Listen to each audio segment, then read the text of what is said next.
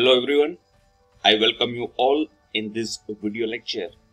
In this video lecture, we will study about different types of traction system. First, let us consider the requirement for ideal traction system. Ideal traction system must exert high starting torque and because of high starting torque, high rate of acceleration and maximum speed is possible. It should be compact in size, as small as possible. It must self-contained, meaning is it can travel at any route.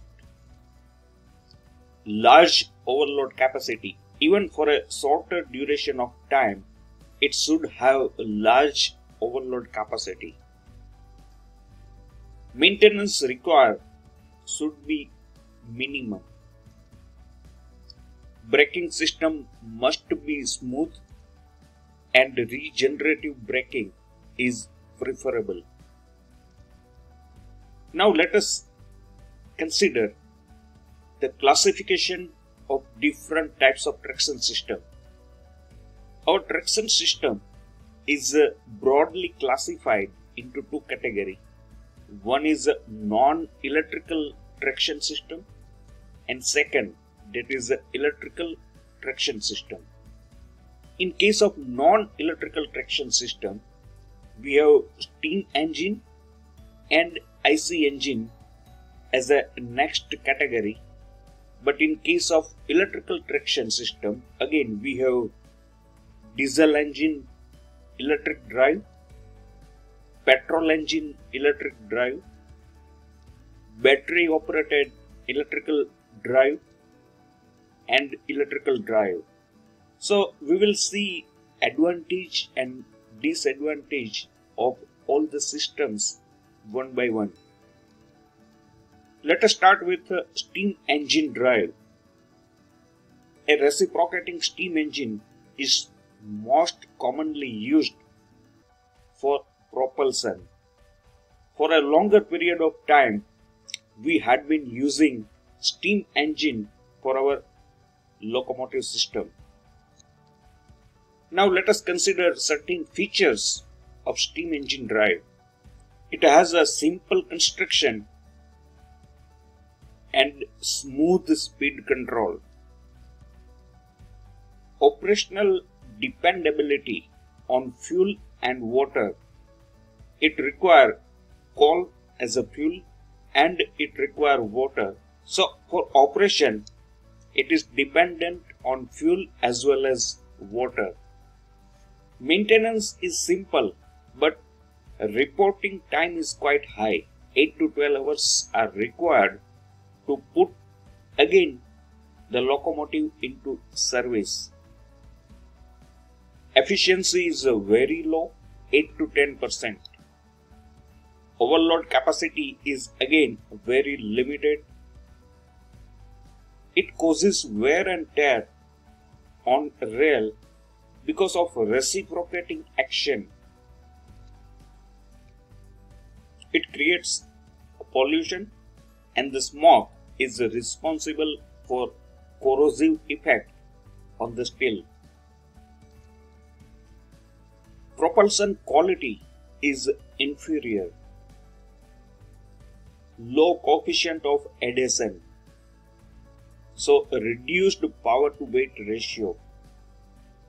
And it is not suitable for underground as well as suburban services. But it is self-contained, so it can travel at any route.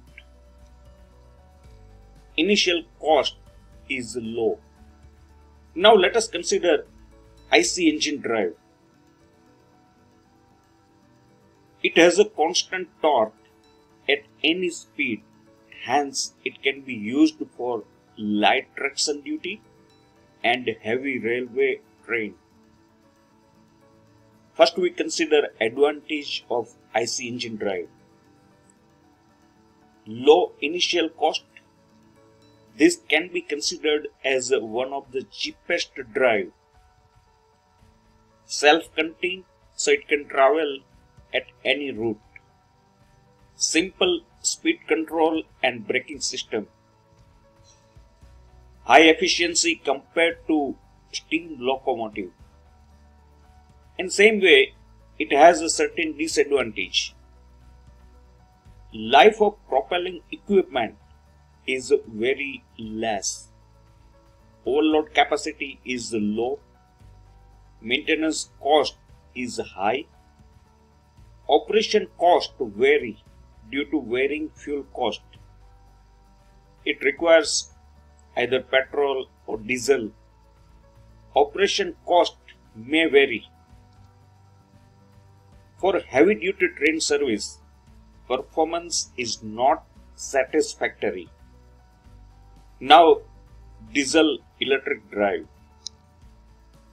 Diesel engine is used to generate electric power by means of generator coupled to it. And generator supplies electric power to electric motor which drive the locomotive.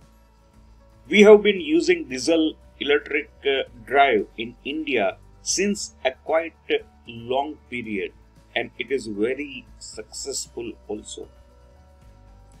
Let us consider certain advantage. Initial cost is low as track electrification is not required. No modification in existing track needed. It is a electric drive but we use a diesel to generate the electricity in the locomotive itself.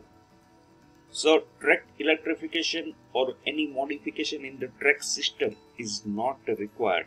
So initial cost is uh, very less. No reporting time. It can be prepared for the service at any moment of time. Power loss during speed control is less and self-contained so it can travel to any route. Overall efficiency is quite high. And then we have disadvantage of diesel electric drive also.